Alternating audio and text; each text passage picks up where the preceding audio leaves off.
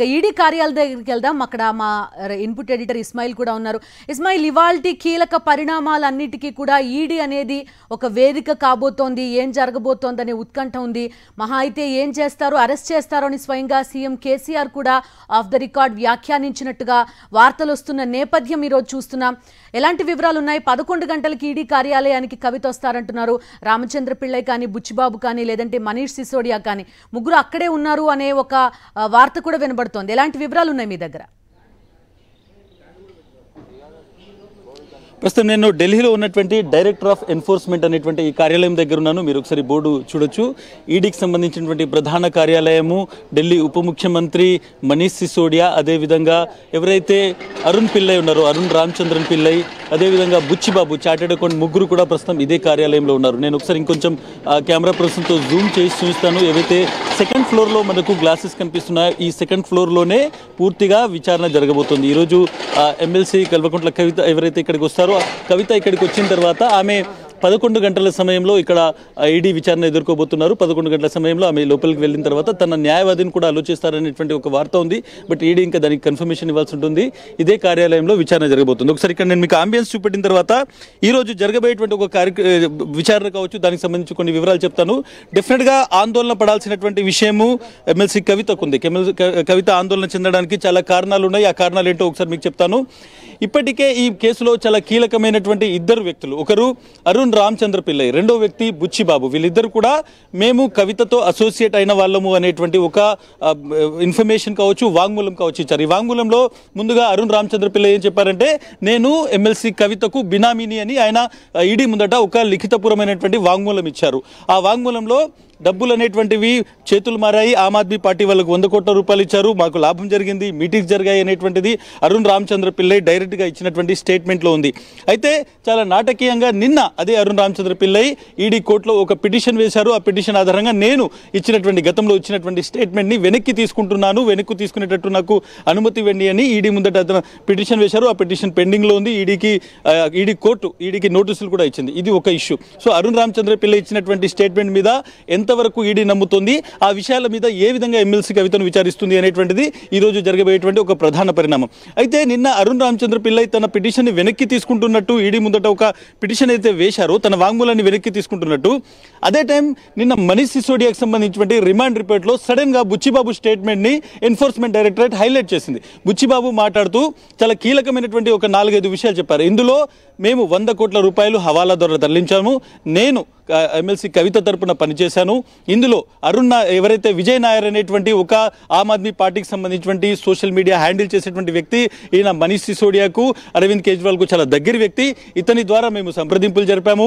హైదరాబాద్లో ఉన్నటువంటి ఐటీసీ కోహినీర్ హోటల్లో ఈ చర్చలు జరిగాయి.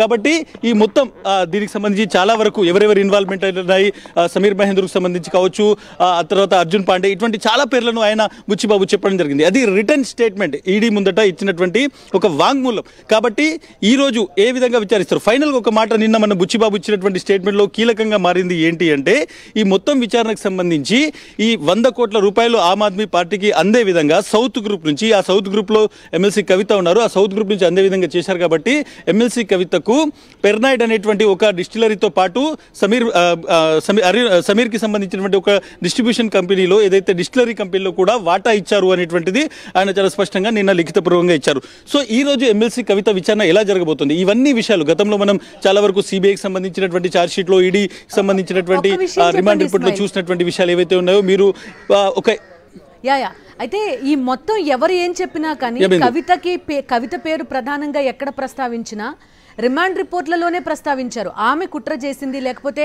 ఆమెకి ఇంత వాటాలు ముట్టాయి బుచ్చిబాబు కానివ్వండి లేకపోతే అరుణ్ రామచంద్ర పిళ్ళై కానివ్వండి రిమాండ్ రిపోర్ట్లోనే. కానీ ఇంకొక విషయం ఈడీ ఏం చెప్తోందంటే ఈ డిజిటల్ ఎవిడెన్స్ అనేది కవిత తగలబెట్టారు లేకపోతే ధ్వంసం చేశారు అనే ఒక ఆరోపణ కూడా చేస్తుంది.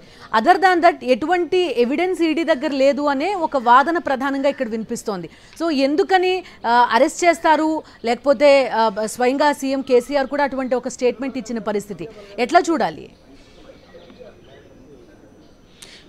బట్ డెఫినెట్గా ఎన్ఫోర్స్మెంట్ డైరెక్ట్ అనేటువంటిది రెండు. ఇక్కడ ఒకటి డైరెక్ట్ ఎవిడెన్సెస్ ఫిజికల్ ఎవిడెన్సెస్ ఇంకోటి కొరాబరేటివ్ ఎవిడెన్స్ ఏంటంటే దానిని సమర్థించేటువంటి ఎవిడెన్సెస్ అనేటువంటివి రెండు ప్రధానమైనటువంటి ఎవిడెన్సెస్ ఉంటాయి. ఇక్కడ ఈడీ అనేటువంటిది ఎప్పుడు కూడా పేపర్ ట్రయలే చేస్తుంది. ఇక్కడ కూడా ఫిజికల్గా వాళ్ళు గ్రౌండ్కు వెళ్ళి చేసేటువంటి సిబిఐ విచారించినటువంటి చాలా అంశాలను వాళ్ళకి సంబంధించినటువంటి ఎఫ్ఐఆర్లను వాళ్ళ ఛార్జ్షీట్లను తీసుకొని దారి ఆధారంగా ఏ విధంగా ఈ మొత్తం మనీ ఫ్లో జరిగింది అనేటువంటిది. అయితే ఇందులో ఎక్కడెక్కడ అరుణ్ పిల్లైకి సంబంధించినటువంటి ఒక బ్యాంక్ అకౌంట్ నుంచి మనీ ఫ్లో జరిగింది.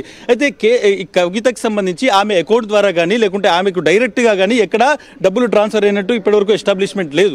బట్ డెఫినెట్గా ఎవరైతే వీళ్ళిద్దరూ ఇచ్చినటువంటి ఇన్ఫ వీళ్ళు ఎవరైతే అటు అరుణ్ పిల్లై కావచ్చు అదేవిధంగా ఇప్పుడు బుచ్చిబాబు ఇచ్చినటువంటి స్టేట్మెంట్స్ ఆధారంగా కన్ఫరెన్స్ చేస్తారా? కేవలం కవితను ఒక్కరినే కూర్చోబెట్టి విచారిస్తారా? లేకుంటే వాళ్ళ ముందు బుచ్చిబాబును ఆమె ముందు ఇంకొక అరుణ్ పిల్లని కూర్చోబెట్టి వాళ్ళని కన్ఫరెన్స్ చేస్తారనేటువంటిది కూడా ఈ మొత్తం ట్రయల్లో ఇంపార్టెంట్ కాబోతుంది. అయితే కవిత వాడిన ఫోన్లకు సంబంధించి గతంలో సిబిఐ అడిగినప్పుడు కూడా ఇవే క్వశ్చన్స్ అడిగింది. మీరు ఎనిమిది నెలల కాలంలో పది ఫోన్లు ఎందుకు వాడారు? ఇన్ని సిమ్ కార్డులు ఎందుకు వాడారు అనేటువంటి క్వశ్చన్ అడిగారు. ఆమె దానికి సమాధానం చెప్పింది. సేమ్ క్వశ్చన్ ఇక్కడ కూడా రిపీట్ అయ్యేటువంటి అవకాశం ఉంది.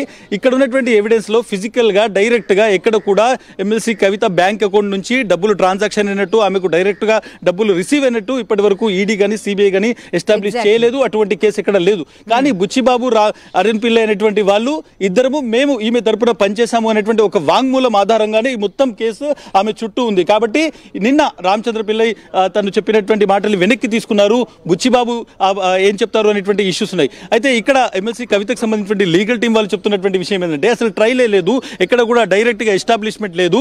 డిఫరెంట్గా ఆమ్ ఆద్మీ పార్టీతో కొన్ని పొలిటికల్ రిలేషన్స్ ఉన్నాయి కాబట్టి మీటింగ్స్ జరిగాయి. కానీ ఎక్కడ లిక్కర్ కేసుకు సంబంధించి డైరెక్ట్ ఇన్వాల్వ్మెంట్ లేదు. ఇది ఒక పూర్తిగా ఒక హషప్ చేసినటువంటి కేసు మా చుట్టూ పన్నుతున్నటువంటి ఉచ్చు అనేటువంటి మాట చెప్తున్నారు. బట్ కొన్ని ఏవైతే ఎవిడెన్సెస్ సంబంధించి ఫోన్లు అదేవిధంగా ఈ ఎవరు? ఈ రామచంద్ర పిల్లై తర్వాత అభిషేక్ బోయిన్పల్లి అదేవిధంగా ఇప్పుడు ఈ బుచ్చిబాబు ఈ ముగ్గురు ఎవరు నిజంగానే డైరెక్ట్ కనెక్షన్ ఉందా? లేకుంటే కేవలం పరిచయం మాత్రమే ఎమ్మెల్సీ కవిత కూడా ఒక గతంలో మాట్లాడుతూ వాళ్ళు నాకు కేవలం ఒకటి రెండు సార్లు కలిశాను అనేటువంటి మాట చెప్తారు. అయితే కలవడం అనేటువంటిది బిజినెస్ డీలా అనే లేదంటే మామూలు పరిచయం అనేటువంటిది ఇప్పుడు క్లియర్ చేయాలనేటువంటిది ఇటు టీఆర్ఎస్ నుంచి బీఆర్ఎస్ సంబంధించినటువంటి లీగల్ టీం కూడా చూస్తుంది. బట్ ఒకటి ప్రధానంగా చెప్పాల్సి ఉంటుంది ఇచ్చినటువంటి స్టేట్మెంట్స్కు వాళ్ళు ఎంతవరకు కనబడతారు? ఒక స్టేట్మెంట్ ఇచ్చినటువంటి వ్యక్తి ఇప్పటికే వెనక్కి వచ్చేసాడు కాబట్టి రెండో వ్యక్తి స్టేట్మెంట్ ఎంతవరకు కనబడతారు?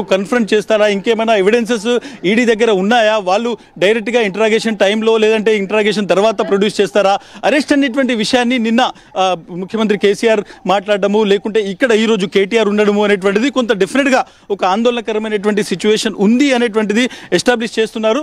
ఎస్టాబ్లిష్ అవుతుంది. బట్ రెండో విషయం చూడాల్సి ఉంటుంది. ఎమ్మెల్సీ కవిత ప్రెస్ కాన్ఫరెన్స్లో కావచ్చు ఆమె మాట్లాడినప్పుడు కూడా ఎక్కడా నేను ఇన్వాల్వ్ కాలేదు. ఇది నా చుట్టూ పన్నుతున్నటువంటి ఉచ్చు అనేటువంటి మాట చెప్తున్నారు. బట్ మనీష్ సిసోడియా ఏడు రోజుల కస్టడీలో ఉన్నారు.